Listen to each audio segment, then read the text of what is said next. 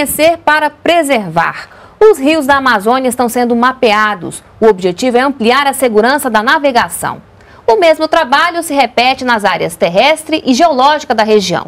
No NBR Entrevista, vamos conversar com Pericles Cardim. Ele é diretor de produtos do Sensipan, o centro gestor e operacional do Sistema de Proteção da Amazônia. Olá, muito obrigada pela sua presença aqui no NBR Entrevista. Obrigado, Carla. Foi um prazer receber esse convite e poder conversar sobre o projeto Cartografia da Amazônia. Então vamos começar explicando né, o que, que significa esse mapeamento náutico. O mapeamento náutico, uma das vertentes, são três vertentes, como você mesmo já falou, geológica, terrestre e náutica.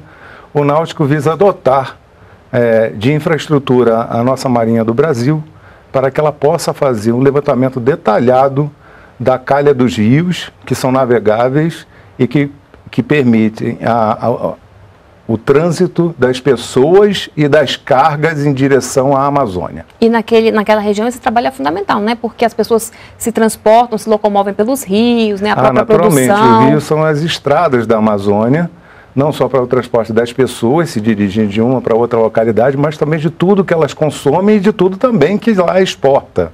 Né, com a nossa Zona Franca de Manaus. Então, é muito importante que, que esse caminho seja muito bem mapeado, com qualidade, com alta tecnologia para que não haja, haja nenhum empecilho nessas rotas de navegação. E como é que é? Quais são as características dos rios da Amazônia? O que, que vocês já identificaram? Então, é, os aspectos ambientais da Amazônia são muito conhecidos por nós em virtude da sazonalidade, épocas de chuva, épocas de grande seca.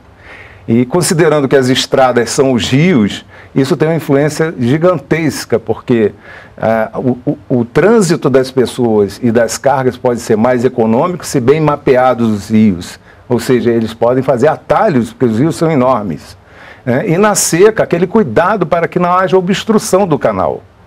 Então, esse mapeamento ele tem que ser de qualidade e, por isso, esse projeto prevê cinco navios além dos dois que a Marinha já possuía antes de 2008, então agora vai contar a Amazônia com oito navios da Marinha fazendo mapeamento cartográfico. O que exatamente vai ser mapeado? Que rios, né? De quais estados? Da então, Amazônia toda? Todos os rios, inclusive considerando os mais importantes, óbvio, por onde transitam mais pessoas e mais cargas, e também aqueles que, em decorrência dessas obras de infraestrutura, como as hidrelétricas, que mudaram o, o trajeto, também precisam ser mapeados para que se renove essa cartografia náutica. E quem é que faz esse trabalho lá na prática, no dia a dia? Quem são então, essas pessoas? O nosso órgão executor, né, nós coordenamos, o Sensipan coordena todo o projeto, mas o órgão executor da cartografia náutica é a Diretoria de Hidrografia e Navegação da Marinha, que tem sede no Rio de Janeiro, né, mas que tem unidades descentralizadas na Amazônia, em Belém e Manaus. Esse é um trabalho demorado?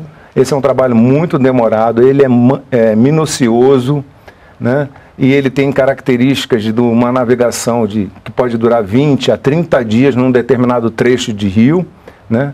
usa equipamentos de alta tecnologia de batimetria, que são equipamentos que enviam impulso para o fundo do rio e retornam e conseguem medir a sua profundidade. Com isso, dá uma condição de segurança para dizer para o navegador por que canal ele pode passar com aquela carga ou com aquele tamanho de navio que ele tem para poder passar e transitar pra, pela Amazônia com segurança. Levando em consideração quando é período chuvoso, né, que o rio está cheio, e também na época da seca. De rio. E como lhe falei, no período da cheia, ele pode também, a partir desse levantamento corretivo, ele transitar cortando né, caminho também, porque são, as extensões são grandes dos rios as larguras. Esse é um trabalho que já vem sendo feito há algum tempo? Ele tem sido feito já, ele é contínuo pela Marinha. Ocorre que precisávamos avançar porque a população aumenta, as infraestruturas são instaladas e precisa ampliar o acesso. São criados modais de navegação para escoamento da nossa economia por outros caminhos, então ele precisa ser mapeado com consistência por esses aparatos que a Marinha recebeu, esses navios para se criar uma hidrovia é preciso ter esse estudo em mãos. Esse estudo em mãos. E também considerar toda a sazonalidade que vai ocorrer durante o ano inteiro. Né? É, eu gostaria de ressaltar que toda essa, essa, essa infraestrutura de navios ela é nacional em termos de projeto, foi a Marinha que desenvolveu os projetos e o estaleiro que construiu também é nacional. Então, é um produto que poderíamos dizer que vai nos atender né, com todo o domínio da nossa competência tecnológica, mas também será um produto estrategicamente para exportação para outros países que têm Amazônia, nossos vizinhos aqui, por exemplo, Bolívia, Venezuela, Colômbia, que necessitarem adquirir o navio para fazer o mesmo trabalho. Essa questão da segurança da navegação tem influência em outros setores? Ela pode, por exemplo, ter influência, ter reflexo na parte econômica? Tem reflexo, porque um canal de navegação mal dimensionado pode ter como consequência encalhar um navio. E se ele encalhar, existem populações, pessoas que estão dependentes daquela carga que está sendo transitada pelo rio. Além também dos problemas que podem ocorrer com pequenas embarcações também. Se não tiver delimitado, pode haver como nós já assistimos em outras épocas, né? É, afundamentos, naufrágios, né? É, de navios transitando com pessoas na Amazônia. É, no caso da questão econômica, por exemplo, pode baratear o frete? Pode baratear o frete na medida, como eu é falei. Rápido. E o percurso for bem delimitado, ele ser mais rápido para a chegada, né? a demora do navio chegar com sua carga e também para exportar, né? como eu havia falado antes. Então, ele ter caminhos que ele possa seguir com segurança, que é o é, é primordial, né? E também e com rapidez para ele escoar é, na calha dos rios. Bom, saindo agora da água para a terra, né? Esse trabalho também está sendo feito na parte terrestre. Como é que é? Muito diferente dos rios? É, esse trabalho terrestre é um pouco diferente dos rios, porque assim, o objetivo dele é fazer um mapeamento em 1,6 milhões de quilômetros quadrados que o nosso país, desde o projeto Radan na década de 70, não tinha revisitado com qualidade esse mapeamento. Então a Amazônia tem 5,4 milhões, mas esse 1,6 milhões de quilômetros, ele carecia da cartografia terrestre básica de planejamento. Traduzindo. Que é 1 para 100 mil, a escala de 1 para 100 mil. Então nós buscamos também com tecnologia nacional de imageamentos, ou seja, de fotografias é, feitas com sensores radar que penetram na copa das árvores e trazem exatamente a altimetria, as elevações que tem por baixo das florestas, que muitas pessoas acham que aquilo é um plano só, é uma planície, e na verdade não é, tem muitas montanhas. Então, esses sensores, também construídos nacionais em radar, eles foram embarcados em aeronave e essas aeronaves fizeram esse levantamento desse 1,6 milhões de quilômetros quadrados.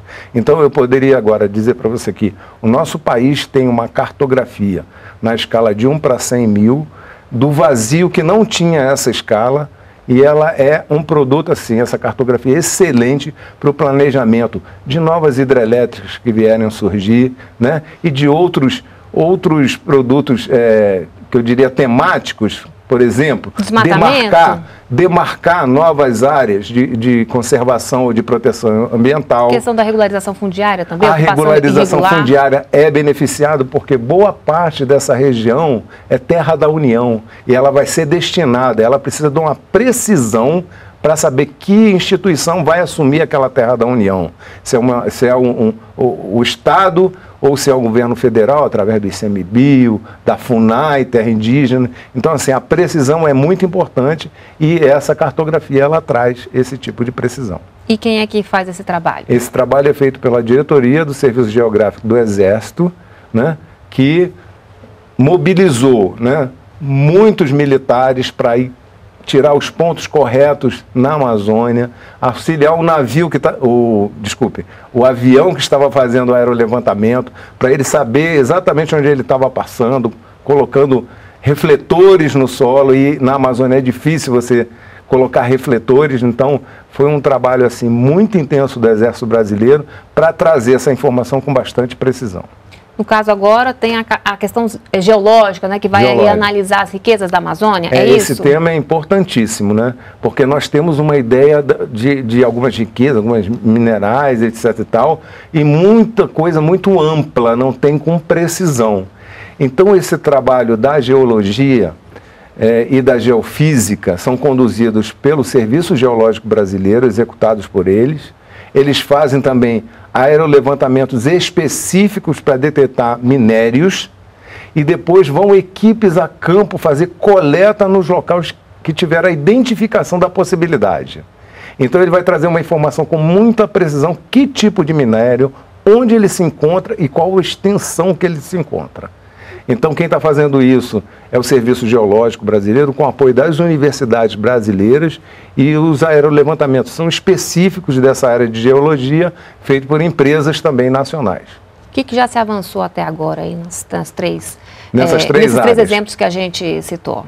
Pois bem, então, no caso da Marinha, está com um potencial de mapeamento do canal de navegação muito grande e, e com isso é, é, transmite para o navegador, seja ele um armador, seja uma pessoa se deslocando de uma cidade para outra, uma segurança maior de que ele está numa embarcação, mas tem uma estrada bem delimitada para ele navegar, né? Além da questão econômica que nós já falamos, então tudo isso é muito importante para esses atores que da economia, a própria sociedade local, né, saber que tem essa estrada muito bem mapeada em qualquer época do ano. E vocês é. têm data para terminar esse trabalho? Nós temos aí uma previsão de 2015. Pode ocorrer alguns atrasos, pode avançar mais um ano ou dois anos, mas como você sabe, isso é um projeto de Estado né, que vai ficar para a sociedade todas essas informações, para as instituições, e elas vão poder utilizá-las por um longo tempo. Né? Então, assim, nós já estamos realizando assim trabalhos importantes, que nós não falamos aqui, falamos só da infraestrutura, mas mapas de riscos e mapas de suscetibilidade são feitos com essas informações, tanto a geológica somada à terrestre. É um conjunto, um somatório que aponta onde se encher muito vai ter um risco muito grande para aqueles que moram nas margens dos rios, né? E também apontar né, a gravidade que, que esse fenômeno pode trazer para aquela comunidade. Então, são ma mapas de risco, mapas de suscetibilidade né, é, do, do solo diante desses fenômenos naturais que têm ocorrido na Amazônia, grandes cheias, grandes secas. Conhecer bem é importante até para conhecer bem é fundamental. De prevenção, de conservação, prevenção, mobilização de defesa civil, isso é importantíssimo. Ele se antecipa aos problemas né, com esse mapeamento. Então, essa cartografia, ela vem e vai ficar e vai continuar sendo atualizada as outras é, partes da Amazônia que tem uma cartografia, mas não é a ideal como esta que nós estamos construindo agora. Mais completa. Mais completa. Tá certo, então. Muito obrigada pelas suas explicações. Eu que agradeço, Carla. O Até convite e estou sempre à disposição para mais algum esclarecimento. Tá certo, obrigada mais uma vez. Obrigado.